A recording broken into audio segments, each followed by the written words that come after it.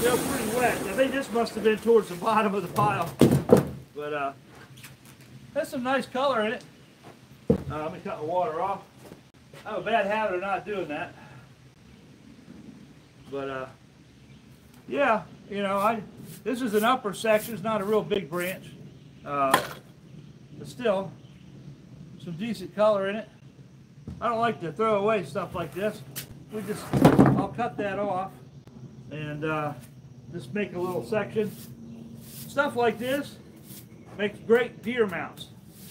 People like to put them, put their deer mount on them. And I'll leave, sometimes if this is flat enough and this one is wide enough, I'll leave this on and they'll take and make a base on this and this will just stand up there with their uh, deer mount on it. So uh, I've seen a couple people do that. Uh, if I had the room or place to put something like that, I'd probably do it myself.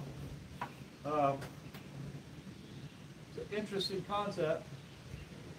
All right.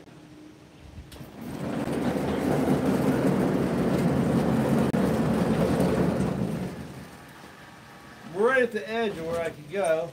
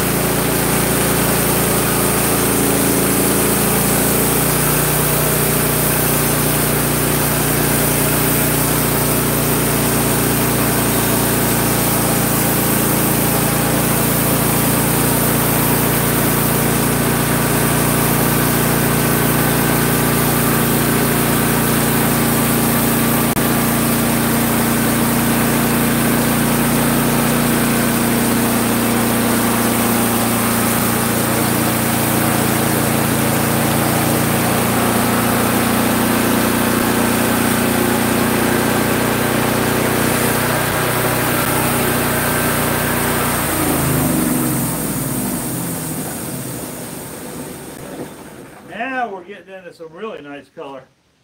Let me get this one flipped over. I'm gonna go grab a tractor and bring it up here. I've got it back over there. But man, let me let me clean clean this off real quick and I'll show you. While it's still somewhat wet. Shows the colors better. Stuff dries pretty quick sitting here.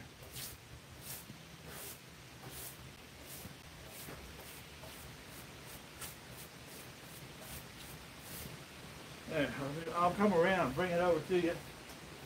Bring it, bring you to it. Ah, I can't talk this morning.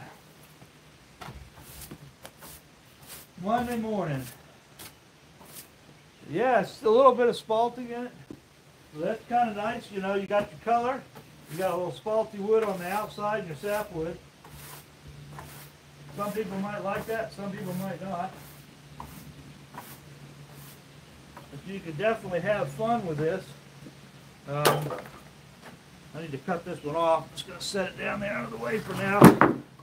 Uh, yeah, let me show you what's going on while it's still wet. Um, pretty crotch figure. There's some bark intrusion right through there. You know, where the branch grew up here and it got bigger and eventually just captured it. So, I mean, that's just, that's some pretty stuff right there. Um, I don't have much in hickory as far as the crotch sections go. So I was definitely pleased to have a opportunity to have this one. There's some of your spalty stuff down at the bottom. Brings out some of the red color, stuff like that in there. So let me uh, let me grab the tractor real quick here. I'll put you guys over here. Can, these are reading glasses, so I sometimes y'all wonder why it's like half on my face and half off my face. it's because I, I only need them. I can lift up the reed, but I don't need them in general. So let me let me grab the tractor real quick, so I can get this piece off of here. And I think that next piece, that's going to have the most color in it.